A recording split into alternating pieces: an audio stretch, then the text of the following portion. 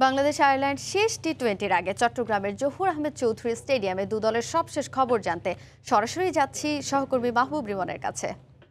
বাংলাদেশের ম্যাচ আসলেই চট্টগ্রামের আকাশের যেন কি হয়। প্রথম দুই টি টোয়েন্টিতে আমরা যেমনটা দেখেছিলাম, আজও কিন্তু ব্যতিক্রম নয়। আকাশে কিন্তু রোদ এবং মেঘের ঘন ঘটা তবে গেল দুই ম্যাচের চেয়ে আজকের আবহাওয়ার ফোরকাস্ট বলছে বৃষ্টির সম্ভাবনা তুলনামূলক কম।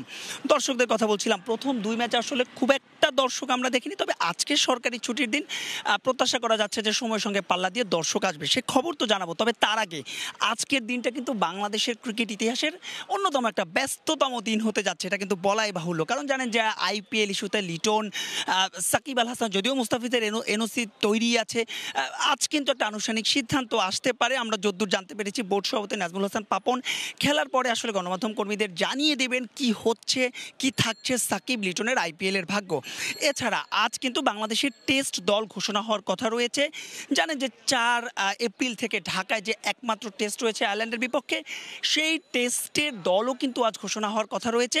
এবং এই টেস্টে আমরা যত জানতে পেরেছি, লিটন কুমার দাস হচ্ছেন অধিনায়ক যদি সাকিব আল হাসান, শেষ পর্যন্ত আইপিএল এর অনাপত্তিপত্র পান। আর সাকিব, লিটন দুজনেই যদি আইপিএল এর অনাপত্তিপত্র পেয়ে যান, সেক্ষেত্রে হয়তো বা মেহেদি হাসান মিরাজকে বাংলাদেশ দলের অধিনায়কের আর্মব্যান্ড পড়তে দেখা যায়। তবে বলছিলাম যে, সব সিদ্ধান্ত এবং সব তথ্যই আসলে জানা যাবে আনুষ্ঠানিকভাবে যখন বাংলাদেশ ক্রিকেট বোর্ড বিষয়টি ঘোষণা করবে। এবার একটু টেস্ট দলের কথা বলছিলাম। আমরা যদ্দূর জানতে পেরেছি, জাকের আলী অনিক যে টেস্ট দল ঘোষণা হবে, সে টেস্ট দল ঘোষণায় অনেকের থাকাটা প্রায় নিশ্চিত।